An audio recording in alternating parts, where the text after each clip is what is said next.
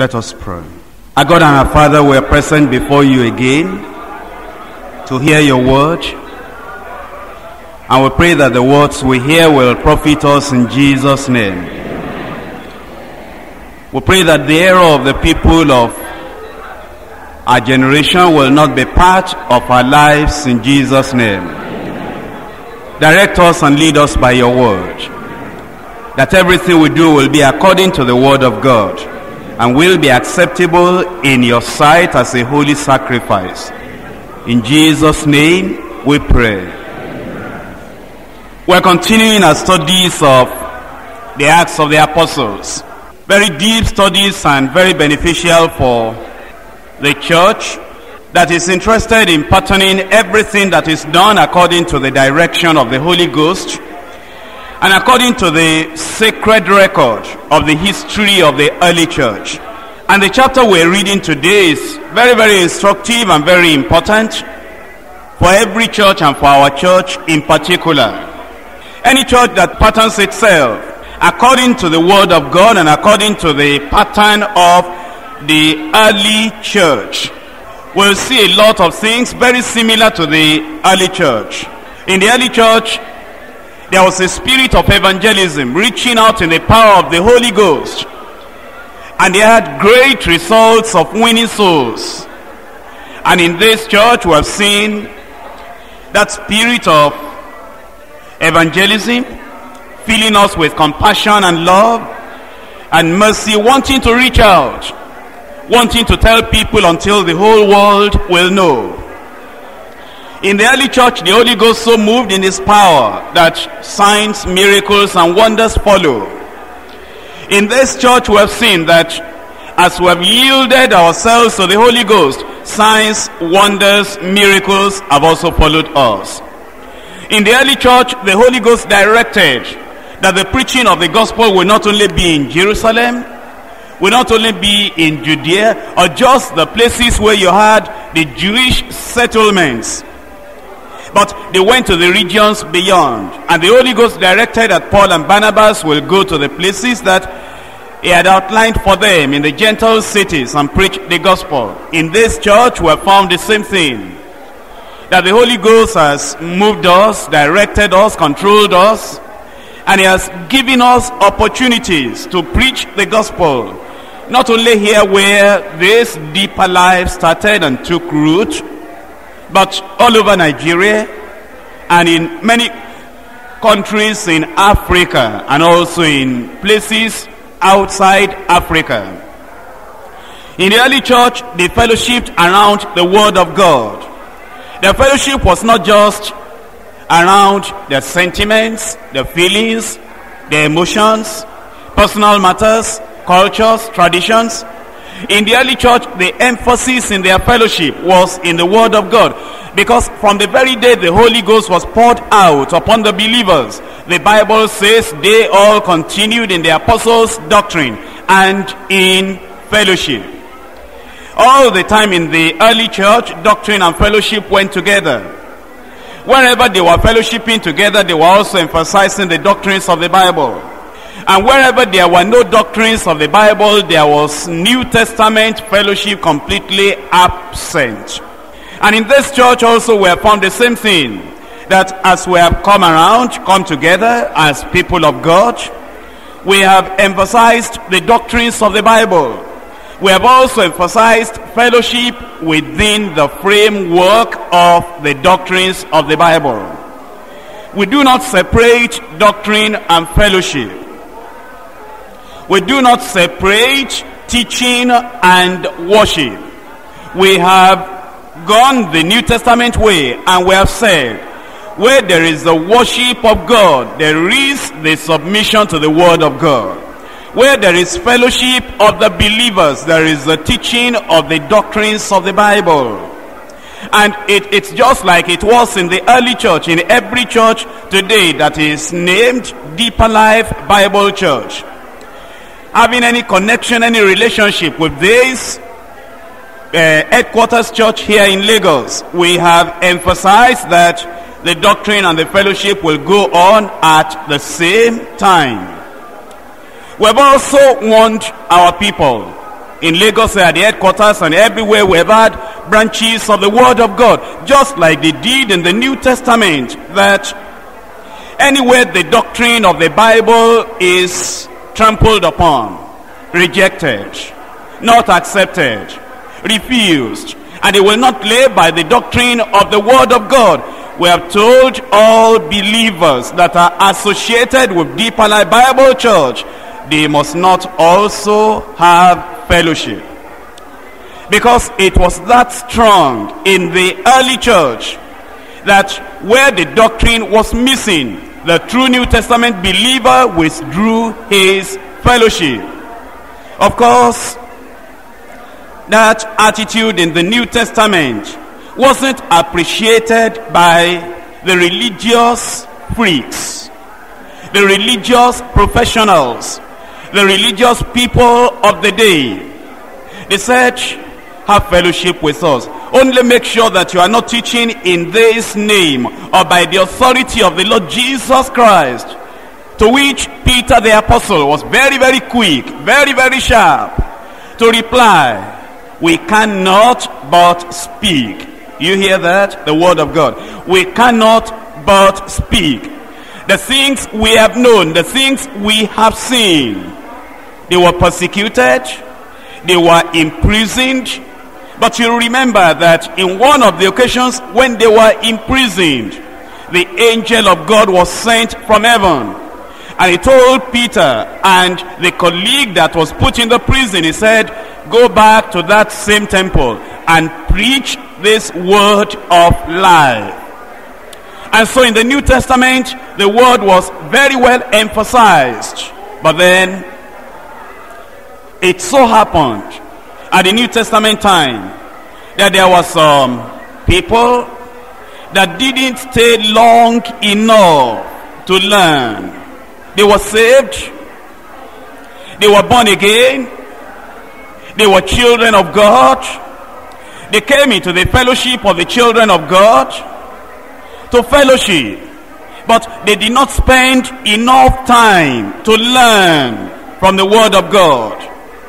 And without anybody sending them out from the headquarters church in Jerusalem, without being appointed and anointed by the Holy Ghost in the church at Antioch, they started following the trails of Barnabas and Paul in the first missionary journey. Everywhere that Paul had gone, everywhere that Barnabas had gone, they also started going to those places, teaching and preaching and trying to minister. Now, if they are taught the truth, their mistake of being of going out without being sent might have been pardonable. But they taught error. And Paul the apostle had such a difficult time. Not sharing fellowship with them. Paul and Barnabas called them. They didn't them for fellowship and worship and singing and praising the Lord and clapping hands and sharing testimonies. No. When somebody is in error, you don't call him for fellowship, for clapping, for singing, for worshiping. You call him for a serious business to settle the doctrinal dispute. And he called them. And he said, these things we're hearing, the teaching that you are projecting, the things that you are telling the people, all the places the church had been established, they're wrong. They're not according to the teaching of the Holy Ghost in the new in the new covenant and the new dispensation. How about it? Will you change? Will you repent? Oh, they said no. Eventually, when Paul and Barnabas could not handle the people, all the churches that were being troubled by the harassment of the false presentation of the doctrine. They had to come to the headquarters church in Jerusalem. And that is the very issue that Acts of the Apostles chapter 15 dealt with. And thank God that even in the New Testament, you can see these individuals and these cases of people that have not been well taught. People that are not matured enough bringing strange, spurious, erroneous doctrines into the church. But the Bible makes it very clear as to what the church ought to do. When false doctrine is trying to enter, and at such a time, when false doctrine is to be dealt with, the emphasis is not love, the emphasis is not fellowship, the emphasis is not worship, the emphasis is not tolerance. When false doctrine is coming in, the emphasis is see. How possible to settle that doctrinal difficulty immediately. You do not sleep over it. You do not wait until a convenient time. You mustn't continue in fellowship that is not recognized by God when false doctrine is coming in. You must forget about that and immediately handle that serious problem of the entrance of false doctrine into the church. And that they did. And thank God in this church, that is what we always do. Well, there are people that may love God, born again, children of God, members of our church. But because they have not waited, stayed under teaching long enough, they can get into a mistake here in teaching, a mistake here in doctrine. When we hear, we don't throw them away. We don't tell them not to come to church again. We invite them. We discuss with them.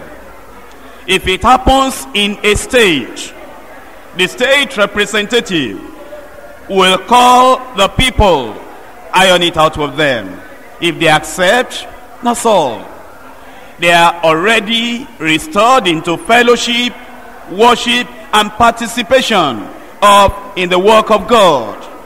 If it happens in a country where we have deeper life, a country in West Africa or East Africa or in Britain or America, and there is an individual that will not submit to the word of God because of immaturity, because of lack of teaching, that individual is called by our national overseer in that country and he set trial and he says brother or sister this doctrine you are bringing is not according to the word of God. Or sit him down sit her down. Teach the individual the word of God. If that individual accepts and owns up his error his false doctrine and he says oh I'm very sorry.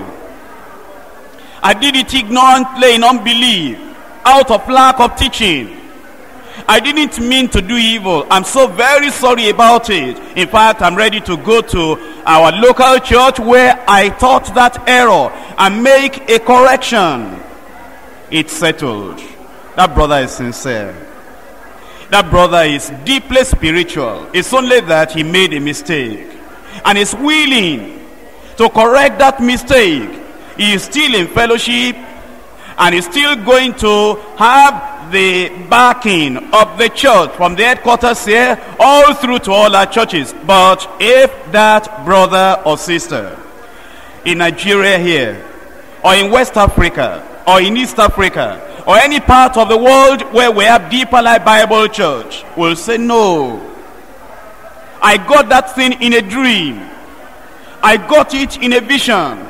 And I cannot change it. I know that, well, the Bible says this, but that angel in the dream told me this. And that thing that this man is maintaining is contrary to the word of God. And he rejects the correction of the national overseer in his country of deeper life. Or rejects the correction of the state representative of deeper life in the state. Well, the national overseer or the state representative in Nigeria will report to the headquarters church here in Lagos according to the word of God, which I'll read to you now. We'll call the individuals and we'll tell them, this is what we're hearing about you. If that individual will say, yes, that is true. Well, if we begin to say now, brother or sister, you happen to be wrong. Then we sit down and spend time, hours with that individual. Going from passage of the Bible to the passage of the Bible. If that brother will say, oh, I'm sorry. They corrected me in my country, they corrected me in my state, but I wasn't convinced because that thing that that angel told me in my dream was too strong on me. But now I've seen it. I'm very sorry. Well, we say, all right, that's all right. Anybody can make a mistake. Anybody can go into error if he's not careful. But since you have accepted, it's no problem anymore. Go back to your country and be submissive to the national overseer there. But if the person will not accept, that's another thing. But thank God, the Bible has given us what to do. The Bible, the Lord has not left us alone when you are correcting somebody of a doctrinal error. The Bible has not left the general superintendent of deeper life alone to say, well, I'll pray about it. No, the word of God is there. God has already directed us in the whole of the Bible. From Genesis to Revelation, what to do. In Genesis, we're told that light and darkness will not mix that God at the very first day separated light from darkness. And that's an instruction. That if eventually, with all the discussion and all the help and everything, that this person will hold on to error, which is darkness.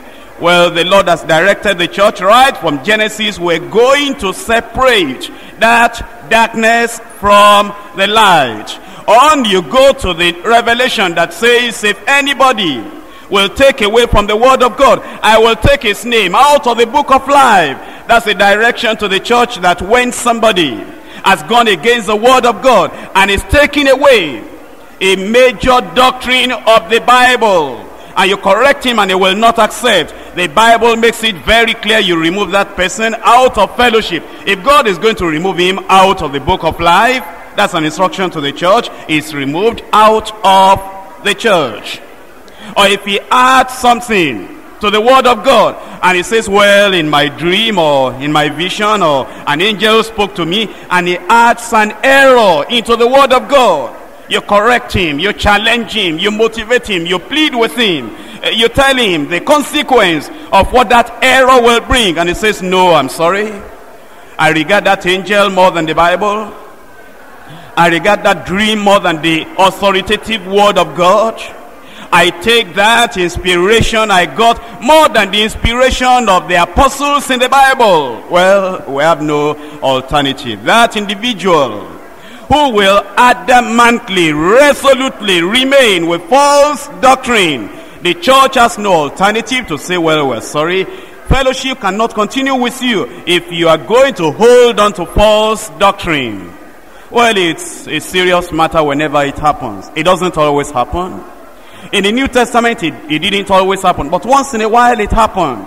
And whenever it happened in the New Testament, the church dealt with it very seriously. But tonight, thank God it is studied. So that if you as a Christian worker, you as a Christian believer, you have been going into the wrong direction. Either you are in the headquarters church here, or you are from deeper life in any state in Nigeria, or you are from deeper life in a West African country or any country. Now, this is the teaching of the Word of God. We take the Word of God, we repent, we say, Lord, I'm sorry, I'm going to remain on the teaching of the Word of God. Fine, you remain in fellowship. But you say, no, I'm sorry. You throw away the Bible. You say, no, I don't want the doctrine of the Word of God. There is no fellowship with the Father, with the Son. Neither would you be able to have fellowship with the church that is standing on the Bible when you don't want to stand on the Bible. Acts of the Apostles chapter 15. Acts chapter 15. Verse 1. And certain men which came down from Judea taught the brethren and said, Except ye be circumcised after the manner of Moses, ye cannot be saved. When therefore Paul and Barnabas had no small dissension and disputation with them, they determined that Paul and Barnabas and certain other of them should go up to Jerusalem unto the apostles and to the elders about this question. And being brought on their way by the church, they passed through Phoenicia and Samaria, declaring the conversion of the Gentiles. And they caused great joy unto all the brethren. And when they were come to Jerusalem, the headquarters church, they were received of the church and of the apostles and elders, and they declared all things that God had done with them. But there rose up certain of the sect of the Pharisees, which believed, saying that it was needful to circumcise them and to command them to keep the law of Moses.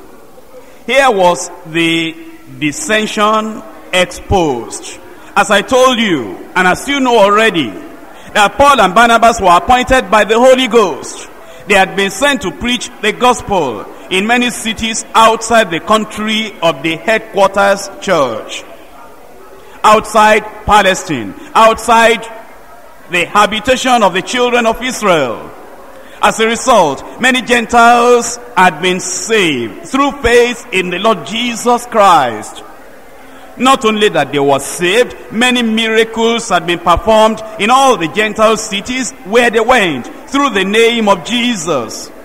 Not only that, the church, that means a congregation of true believers, was established in every city. As established each church in every city, elders were ordained, workers were appointed in every church to continue the preaching of the full gospel and the evangelization of their communities. As we have read now, together with me in Acts chapter 15 verses 1 and 2, after Paul and Barnabas left and they came back to Antioch, false teachers arose to preach false doctrines of salvation through the law and through circumcision. These false teachers needed correction. That was the issue that they brought to the Jerusalem church, the headquarters church. Now, when we speak about false teachers, many times there are those who do not understand what the New Testament means by false teacher.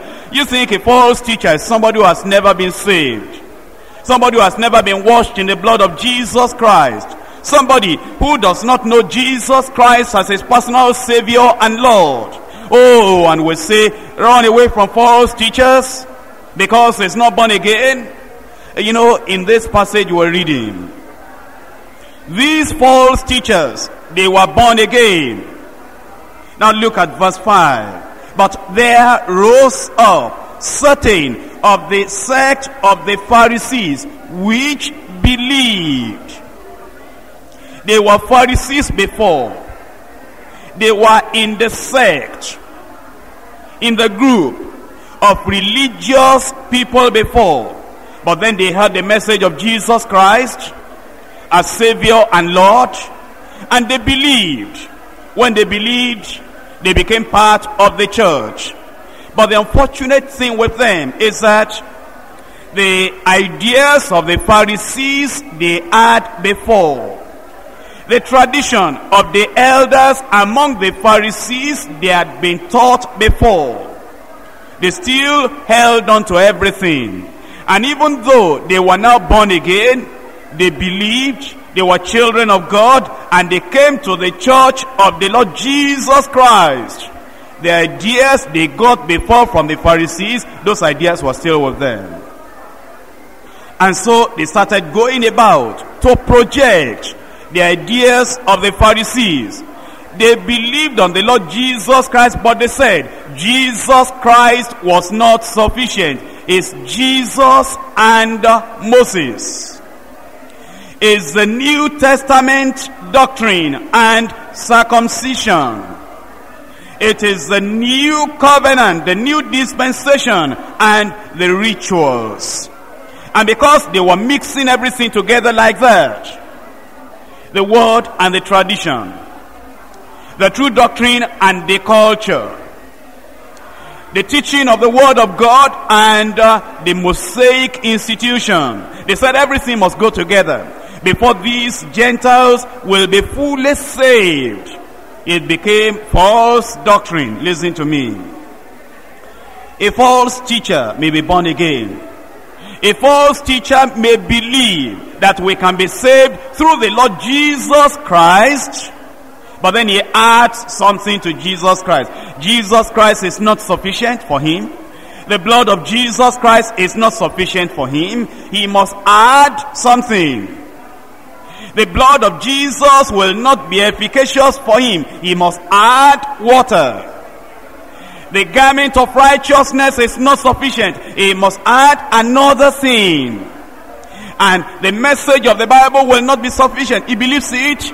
He believes the Bible, but he also believes the message from the angel must be added. Now you see that is a false teacher who will not be satisfied with Jesus and Jesus alone. Turn to the back of your sheet. Jesus only is our message. Is the beginning, is the ending, is the Alpha, is the Omega. Jesus, all our theme shall be. It's not Jesus and something else. It is Jesus and Jesus alone. We will lift him up ever. Jesus only will we see. Jesus only is our Savior. It's not Jesus and psychology. It is not Jesus and traditional religion. It is not Jesus and um, animal sacrifice. It is not Jesus and the burning of candle. It is Jesus only that is our Savior. All our guilt He bore away. All our righteousness He gives us. All our strength from day to day. Jesus is our sanctifier. It is not Jesus and an angel trying to sanctify us in a dream. It is not Jesus and the founder of a church trying to cleanse us, washing us by the riverside to take all our sins away. It is Jesus only that is our sanctifier, cleansing us from self and sin. And with all his spirit's fullness, filling all our hearts within. It is Jesus only that is our savior. It is not Jesus and the six and seven books of Moses. It is not Jesus and magical power. It is not Jesus and the drinking olive oil. It is not Jesus and another thing. Jesus only is our healer. All our sicknesses he bear. And his risen life and fullness, all his members may share. Jesus only is our power. We do not go to the mountainside and be shaking, asking for the dove to come. We stay where we are because Jesus Christ, who is a baptizer in the Holy Ghost, he can baptize right where you are without going to the riverside, without going to the forest, without going to the mountaintop. Jesus only is our power. Here's the gift of Pentecost. Jesus breathes thy power upon us. Fill us with the Holy Ghost. And for Jesus, we are waiting. For Jesus, we are waiting. We believe that Jesus came before. He's coming again. Because they same Jesus, whom you have seen going up into heaven, he shall so come in like manner as you have seen him received into heaven. And we're waiting for him. We're not waiting for an angel. We're not waiting for a man. We're not waiting for another person to be born in any part of Nigeria or any part of West Africa to say that now he has come. There are many people today who say they're Jesus. They have come back, eating rice and gari with us here. They have not raptured the saints away. And they say, you know, they have come, they are getting married, many wives, having children, and they say they are Jesus. This world is totally in ignorance. But they same Jesus, the Jesus of the Bible, born by Virgin Mary, the Jesus of the Bible, who at the age of 12 went to those doctors of the law and he confounded every one of them. That same Jesus of the Bible that went to the cross and he died and he said, it is finished. That same Jesus that rose up on the third day and the grave could not hold him. And all the, the angel came and rolled away the stone. And when the disciples went there to look for him, they said, he is not here he is not here. Because he's risen from the dead. Why are you looking for the living among the dead? That's the Jesus we're waiting for. The Jesus that stayed with his disciples all those days and he showed them by many infallible proofs that he has risen from the dead. The Jesus that went up to heaven that is at the right hand of the Father and is saying, I will come again. In my Father's house are many mansions. If it were not so, I would have told you and I go to prepare a place for you. When I finish, I will come back and I will take you to myself. That's the Jesus I'm waiting for. I believe that's the Jesus we are waiting for. And for Jesus we are waiting, listening for the trumpet sound. And then, and then it will be us and Jesus living ever with our God. Preach this Jesus. Stand on the word of the Lord. Do not deviate to the right or deviate to the left. Whatever may be happening with people around you, you take your stand and say, Jesus only is our message. If anybody tries to come and confuse you, you say no. I'm holding on to this word. And you as a child of God, contend earnestly for the faith once delivered unto the saints. Will you do it? Will you do it? Rise up and tell the Lord you are going to stand by the word of God. You are going to stand by the word of God. As a preacher in this church, as a worker in this church, as a member in this church, you are going to stand by the word of God. Jesus only and Jesus ever. Jesus only and Jesus ever. Jesus all in all we sing. His Savior, His Sanctifier, His Healer, His Baptizer, and is a coming King.